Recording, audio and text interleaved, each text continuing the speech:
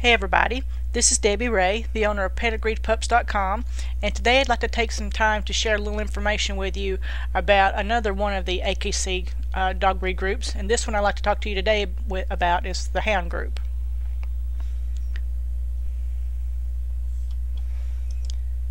Exactly, what is the Hound Group? the Hound Group is or were breeds that were bred to to help man capture game by tracking prey using their wonderful senses of sight or smell. And hunting is probably the job that comes uh, most easily to mind when using any of the hound breeds. Today, hunting with dogs is mostly considered a sport. Some hounds use their incredible acute senses of smell to follow a trail, and these are classified as scent hounds. Now, there are other types of hounds that can relentlessly run down their quarry because of their incredible speeds and stamina, and these are classified as scent, excuse me, as sight hounds. So the AKC Hound Group is filled with members who love to track prey basically on one of these two concepts, using their sight or using their senses of smell. So what exactly are the, the hound breeds, or what are the members of this group? Well, let's talk about a few of them. Now the first breed we'll talk about is the Afghan Hound. Now the Afghan Hound is an aristocrat. This is a very ancient dog breed and his whole appearance is one of dignity and nobility. They're very athletic and they're also very aloof. These dogs can appear particularly standoffish with strangers and they're very uh, independent as well. These dogs are sight hounds and they're extremely fast and agile. They need a lot of room to run in a fenced area and under supervision on a daily basis. Um, I wouldn't let these dogs off a lead at any time unless they were in a fenced area that was that was very uh, tightly um, you know closed up or whatever just to make sure they didn't get loose due to their extreme speed you'd never catch them if they did get loose um, the Afghans are frequent participants in using uh, their speed in lure coursing events. They're covered with a thick mane of long, silky hair, and this requires hours of grooming each week to maintain that beautiful appearance. And the next dogs we'll talk about are foxhounds. Excuse me. And let's talk about the English and the American as well.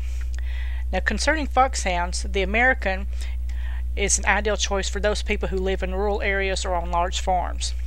George Washington Maupin is considered to be the father of the breed. His dogs were considered some of the fastest running foxhounds ever produced during his lifetime. The dog breed's origins date back to the early 1700s in the states of Virginia and Maryland. By the mid 1700s, these hounds, uh, or watching these hounds follow prey, became a favorite pastime, especially for those people that were of the upper class. These main strains, the Walker, Trigg, Hudspeth, Calhoun, July, and Goodman, make up the major portions of what is called the American Foxhound by the AKC today. Now concerning the English Foxhound, which you see on the right-hand side of the screen, the English Foxhound is a very intelligent and courageous packhound. They have a very cheerful and determined disposition. These dogs were bred to hunt and to run for great distances as well. And they're amazingly, amazingly agile and they have the ability to track down and find its target, but also to make the kill when needed. Very minimal grooming is required for this dog. The English Foxhound also needs a lot of exercise and they are happiest with people who live in rural areas or on large farms. Generally speaking, owners tend to consider the English Foxhounds to be more aloof than their American counterparts. The Basenji. Now the Basenji is a dog that's that's well known for its ability that it doesn't bark, but it does make a yodeling type of sound. Now these are often called chortles, squeals, whines, and sometimes yodel or baroo.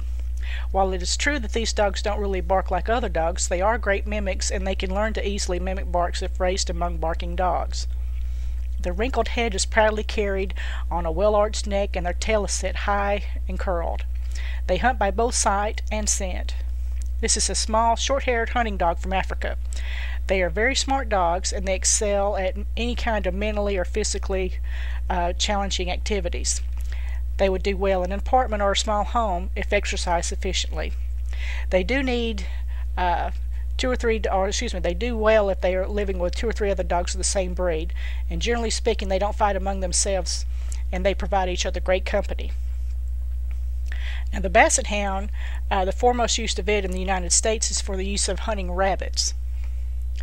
Now it's true that Bassets love food, and it's also true that they're less physically energetic than most dog breeds. The Basset Hound is a very laid back, social, and affectionate dog. They're also very good for children and adults of all ages. This breed is considered a wet mouth breed, which means they do drool quite a bit. So make sure you have a slobber rag if you have a Basset. Extra care must be taken around swimming pools if you have a Basset because with the majority of the weight being in the front of the dog and with them having such short legs it makes it very very hard for them to swim and then only for short distances. So you just want to make sure that you keep a close eye on uh, your Basset if you have a pool and make sure you always have a life preserver on it.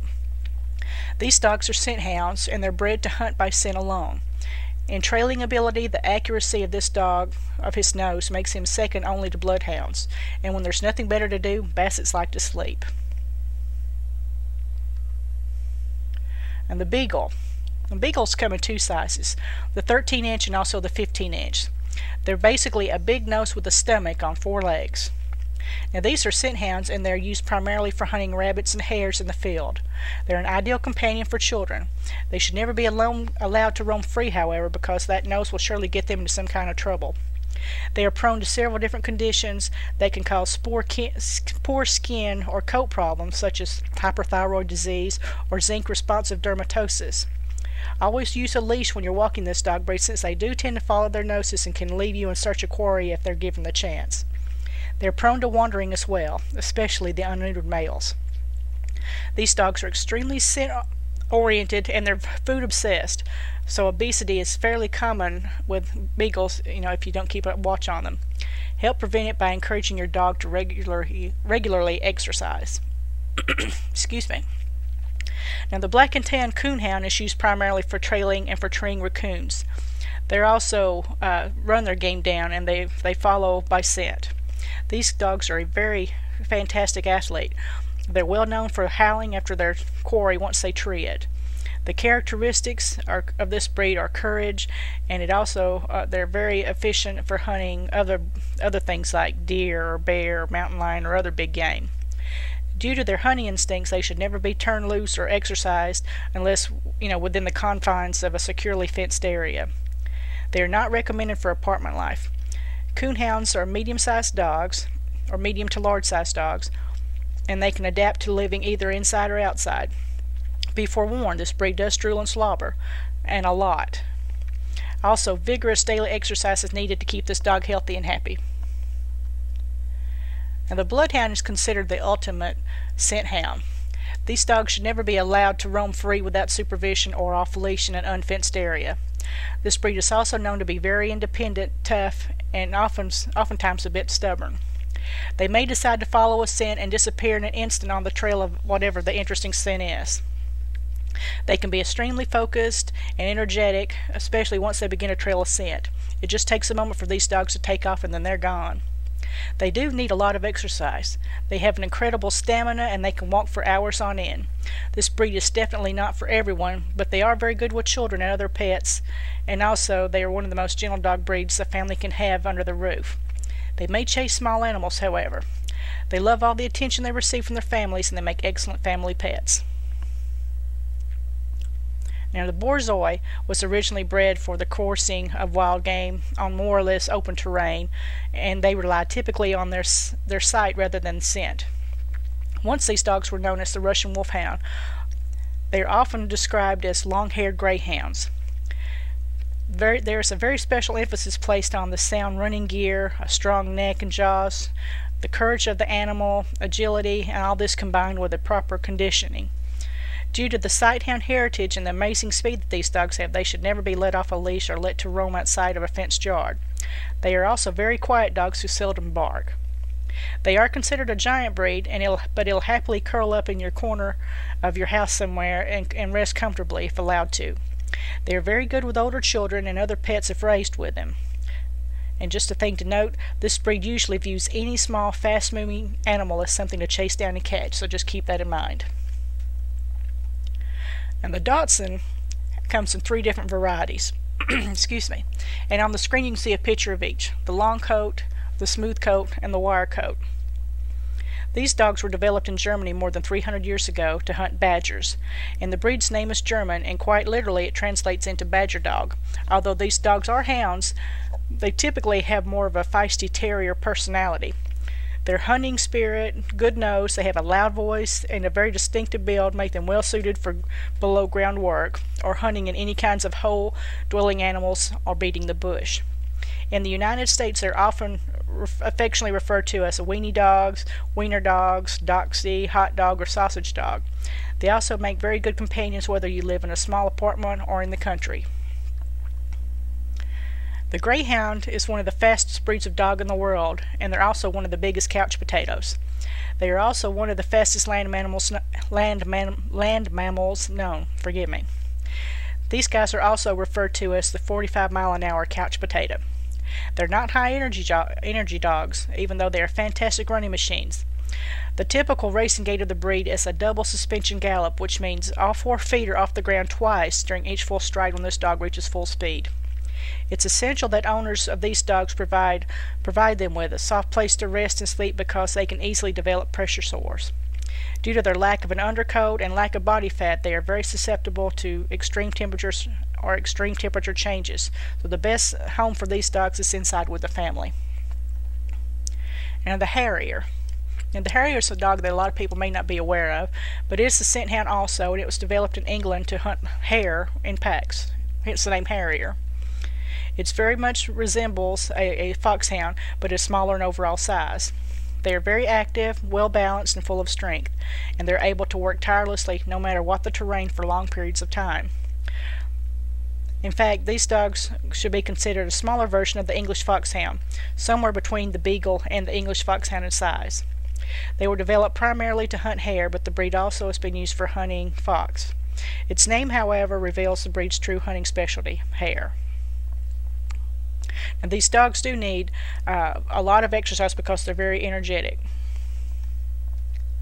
And the Ibizan Hound is a very even-tempered and affectionate dog. They're very loyal uh, and they're very versatile and they're also very trainable. Now the Ibizan's clean-cut lines, those large prick ears, and the light pigment give it a very unique appearance. And the Ibizan history can easily be traced back to around 3400 BC. These dogs are hunting dogs whose quarry is primarily rabbits. He makes an excellent family pet and is well suited to the breed ring, obedience, tracking, or lure coursing. There are three varieties of Ibizan smooth hair, long hair, and wire coated. Beasters often require a great deal of exercise, and they should only be allowed off a leash within a, a, secure fenced area. They are very agile dogs, and they're able to jump great heights from a standstill and require a great deal of exercise. So it's recommended if you own one of these dogs that you have a fence of at least six foot in height. Now the Irish Wolfhound is the tallest of all dogs. If you were to stand them on, the hind, on their hind legs, they could easily reach up to seven feet tall. The Irish Wolfhound is a large, sensitive dog who requires lots of space to accommodate his great size, and he also requires an owner who can give him lots of companionship. Wolfhounds should never be allowed, uh, or allowed to run loose. A remarkable combination of power, swiftness, and keen eyesight, this dog breed is, is a very, very fast dog breed. So you want to make sure that if something happened, you know, you want to keep it on a leash just to uh, keep that from happening or to keep anything from happening. This dog breed is very old, possibly dating as far back as the first century BC or earlier. Originally, these were war dogs and they were used to drag men out of chariots or off horseback during combat. They do get along well with other dogs and other pets if raised with them. They're not recommended for apartment life. Now, the Norwegian Elkhound is a remarkable combination of power, swiftness, and keen sight. They do prefer cooler climates, and they are a medium-sized, sensitive dog who requires a lot of space to accommodate his size. These dogs should never be allowed to run loose. Some of the Elkhound's favorite talents include tracking, hunting, herding, sledding, guarding, watchdogging, and agility. Elkhounds shed huge amounts of fur twice a year, so be forewarned. As with all other dog breeds, they also require regular brushing to maintain a healthy coat. They thrive on human companionship and will prove to be a lifelong and loyal friend to anyone who takes the time to, to show them a good, a good loving home. Now the Otter Hound is another large breed of dog that was developed in England to hunt otter. They generally weigh around 80 to 120 pounds so this is a pretty large breed of dog. This breed also has, among other things, webbed feet and a rough double coat. It has an extremely sensitive nose, and it is very inquisitive and perseverant in investigating any kind of scent that it's you know it hasn't come across before. This hound hunts its quarry on land and also in water. They do get along well with other animals, and they're good natured with children. They also have a very, very melodious voice, which they are well known to use freely. They're very energetic dogs who need lots of room for exercise and exploration. A fenced yard is a must for owners of this dog breed. Now, the Petit Basset Griffon Vidian, uh, I probably said that really wrong, but anyway, the PBGV is what I'll call it, have only been known in the United States until since about the 1980s because of their raggedy, scruffy good looks uh, and their sparky personality, these dogs have won the hearts of many admirers. Although a scent hound, he is much more like a terrier. They're very curious little dogs, busy, determined, and very smart, needing lots of ex exercise and attention. Their double coat should be left natural, and it, a lot of grooming is not needed with this breed. The PBGV are very good family dogs, but they do demand attention if their owner does not give it to them. They're generally good with other dogs, however, they should not be trusted with non canine pets. A bored or lonely PBGV will make up its own entertainment, and if may make up something that you're not happy with, so make sure they have lots of toys, chews, and things to keep them busy. Now the Pharaoh Hound is a very ancient breed. They make a wonderful watchdog and because they're very observant and they possess a very keen eyesight. They also have acute hearing and they can bark promptly at the approach of any strangers. The Pharaoh must be permitted to make up his own mind about people in any kind of situation. They're very playful and they like children, but they can't be expected to readily accept children they don't know. These dogs are also very fast and they're very alert. They're not a good candidate for apartment life unless the owner is prepared, prepared to give him lots of daily exercise. They should not be trusted with any kind of small non canine pets. It's also very important not to let this dog off leash except in a safely contained area that has a really tall fence because they're great jumpers. This dog breed originated in ancient Egypt, where it's thought to have been brought from Egypt by the Phoenicians when they settled in the Mediterranean islands and these dogs have existed for well over 2,000 years. The Plott Hound, and the Plott Hound is one of the newer uh, additions to the AKC Hound breed. And the Plott Hound is a very alert, intelligent, and confident hunter. They are well known for their stamina and endurance, as well as agility, and they're very determined dogs. They're bold, fearless, aggressive, and, uh, and especially aggressive. Let me try that one more time. They're bold, fearless, and very aggressive when hunting. This powerful, well-muscled, and streamlined hound combines courage with very incredible athletic ability. They do need a lot of physical exercise. Built for anything, they even have webbed feet. These dogs are great family pets and they do well with all members of family, even children, but socialization is highly, highly recommended. Early socialization and obedience training are advised. And by the way, I do uh, advise you um, to always have a slobber rag around because they do drool and slobber quite a lot. This dog breed originated in the mountains of North Carolina in the United States around the mid 1700s. They are an American dog breed through and through, and they're also the state dog of North Carolina. Now, the Rhodesian Ridgeback is a breed of dog that is able easily to receive, retrieve, to track, hunt game, and also to protect your property. These dogs are still considered hunting dogs. Their, uh, their absolute nature is to hunt, chase, corner, or tree any kind of game. They like the thrill of the chase. The Ridgeback is a large, muscular dog originally bred in South Africa to hunt lions. Because of their ability to harass a lion and keep it at bay while awaiting their master, they are also known as the African Lion Hound. The colors are reddish gold to wheaten. Ridgebacks are also known to be very loyal, intelligent, and gentle dogs but they're also very independent and they need independent thinkers who can outsmart them. Uh, they are also very aloof around strangers. The best known feature of this breed is the ridge of hair which grows forward on its back. It consists of a fan-like area, or it's called crowns, and these taper uh, from immediately behind the shoulders all the way down to the dog's hip area. Now the Saluki is the royal dog of Egypt, and it's perhaps one of the oldest dog breeds known to man. It's identified by some historians as a very distinct breed and type as long ago as 329 BC, when Alexander the Great in invaded India. The whole appearance of this breed should give an impression of grace, symmetry, great speed, and endurance. They're also strength. They have a lot of strength, and they also need a lot of activity to maintain, uh, just to maintain the dog to keep them happy. These dogs are able to kill gazelle and quarry uh, over deep sand or rocky mountains. Unlike other dog breeds, these dogs are not viewed as unclean by the Bedouins because of their royal background and their clean living habits, so these dogs were actually allowed to sleep inside their owners' tents. There are also several stone inscriptions depicting uh, these young dogs, or these dogs with the young King Tutankhamun um, years and years and years ago. This is a very active breed who likes the outdoors and should never be left off a leash or left to roam outside a fenced area. Adequate fencing is a must because they can easily jump a five foot fence if they so desire. Okay, next let's talk about the Scottish Deerhound. And Scottish Deerhounds are very large, easygoing dogs. They have a very shaggy, harsh coat and they shed very little. The Deerhound is very closely related to the Irish Wolfhound, but their general conformation is that of a Greyhound of a much larger size. Their chest is deep and it's really broad, but it's not too narrow uh, overall. A good girth of chest is indicative of great lung power, which these dogs need to be able to run, exercise, and hunt. Deerhounds should never be left off lead unless they are in a secure area due to their great speed and love of chase. They're relatively inactive indoors and they make great house pets. And the last dog we'll talk about in the AKC hound group today is the Whippet.